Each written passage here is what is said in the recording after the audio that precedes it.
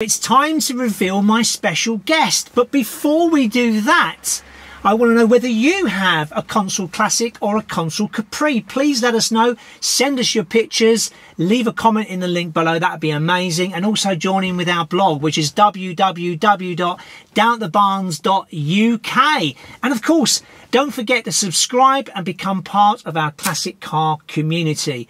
Okay, it's time for you to introduce you my guest, which is BBC Radio 2 broadcaster Bobbie Pryor. Hey. Hi, Bobbie. Hello. Welcome to Down at the Barns. And welcome to my car. Yeah, it's great seeing you again. It's been a little bit of a while. We've known each other many years. We first met in the 1990s, early 1990s, on Invicta FM. Yeah. Um, and back then you had two Consul Capris, a blue and a red one. Yeah, I did. What's your love of this car? Oh, I have to confess, it comes down to the way it looks.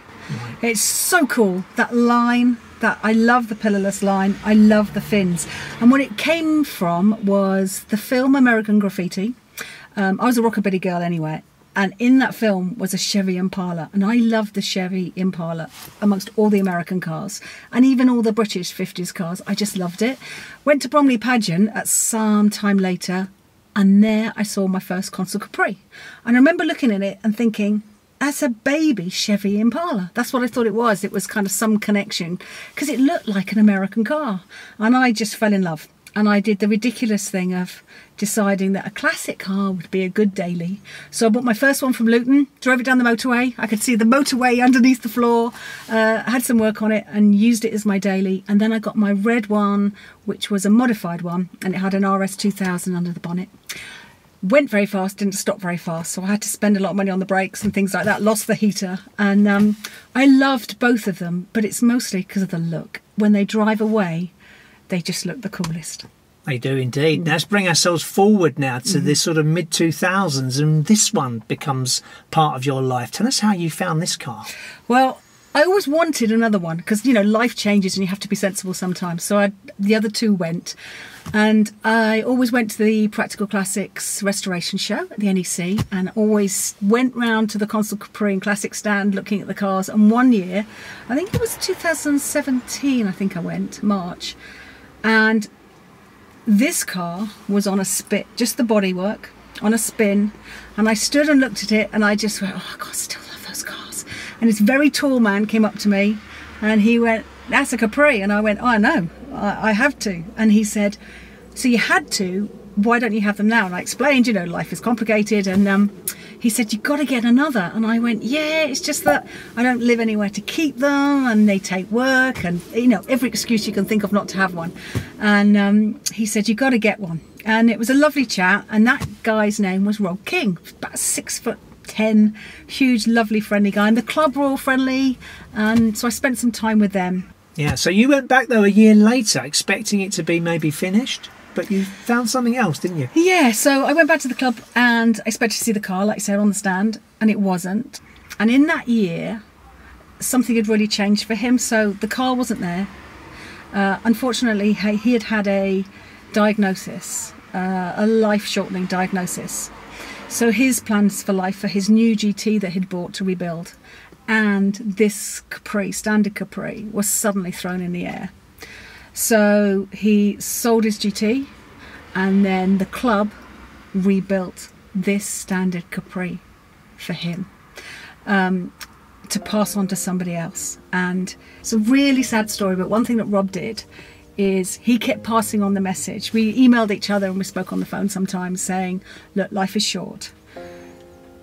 Live your dreams. If you want the car, it's yours. So I just said yes. I just went, Actually, you're right. I'm going to do this. Somehow I'm going to do this. Um, and it's one of the little other little sad things is uh, my dad became ill at the, exactly the same time. So I lost my dad. But by losing my dad, uh, what it did is it gave me the funds and I bought Rob's car and carried on the momentum of that. So we've lost Rob now, sadly.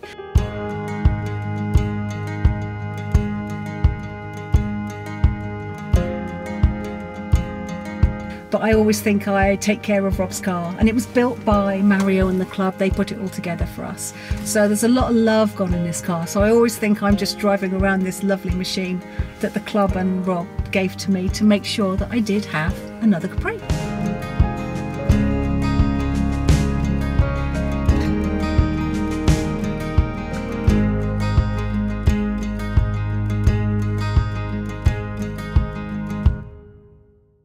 You've come to a point in your life where you've got these two big interests. You've got the classic cars and you've got the travelling. Yeah. And you've decided that the travelling is probably more of what you want to get into. So what that means is something's got to give. So unfortunately, you're thinking about maybe passing this car on to maybe someone else who would be interested. What? Tell us about that. Well, it's difficult because emotionally, I'm so attached to this and it's Rob's, and I really want to take care of it. But if the right home became available, because I think we all just custodians of these cars, so it's not so much as selling it as rehoming it. Obviously, I've got to sell it to Yeah, rehome it. yeah. But yeah, I think now I've got to the stage where also I'm quite frightened to drive it. Not because I'm frightened of driving it, but because it's brand new and it's absolutely so perfect Yeah, it is. there's a part of me that wants to keep it that way and if you want to do that then you really need your own storage and your own place to kind of take care of it properly and i don't have that and i can't see that happening because i want to travel so much. So i think now is the time that i might rehome having said that i did say that two years ago. So let's see. But yes so the right person. So yeah. So let's talk about the interior. It's got great interior, hasn't it? What do you like about it? Because it's like a 50s diner. Exactly what you said is the rockabilly girl in me is still there. I Yeah. still love everything 50s, and Yeah. it's red. The piping's all there. It's original as well. Mm. It's survived really well. It's come up beautiful, and I love the kind of creamy white because it's ermine white, not bright white, and Yeah. it really matches with the red.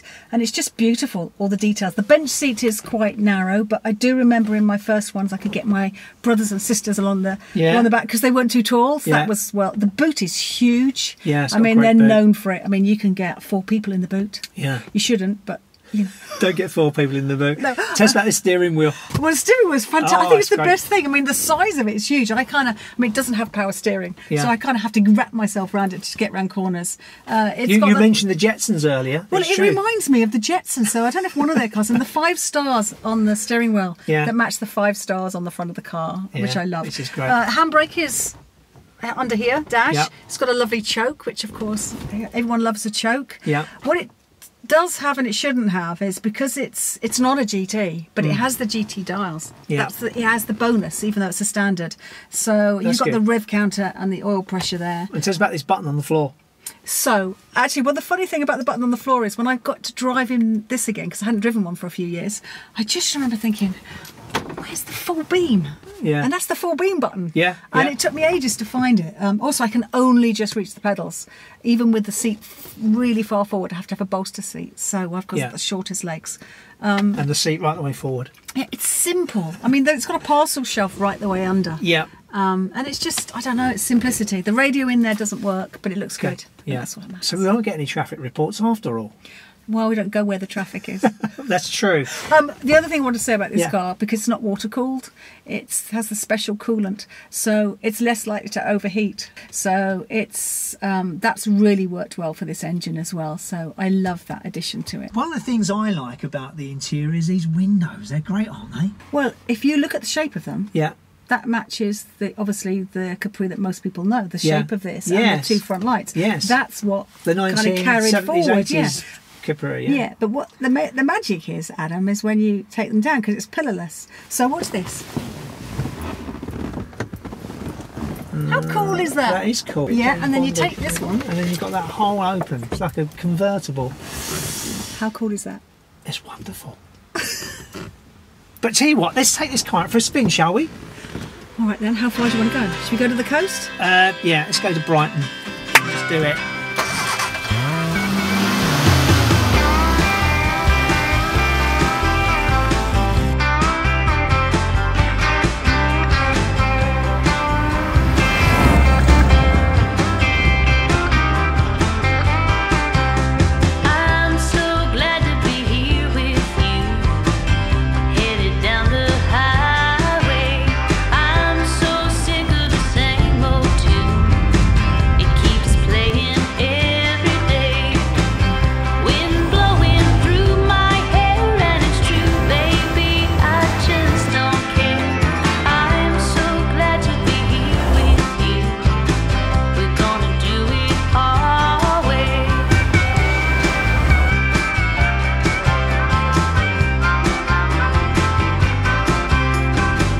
It's been wonderful driving around today in this Consul Capri. So thank you ever so much, Bobbie, for bringing it down. It's been okay. brilliant, you know.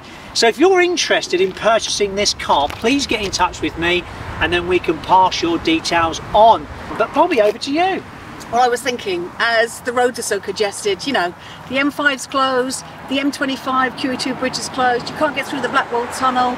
If you drive over the Erskine Bridge, it's too windy for high-sided vehicles. So maybe just stay at home, tune in to Down at the Barns, and then while you're doing that, you can like, you can comment, and you can subscribe. She's good. Let's go.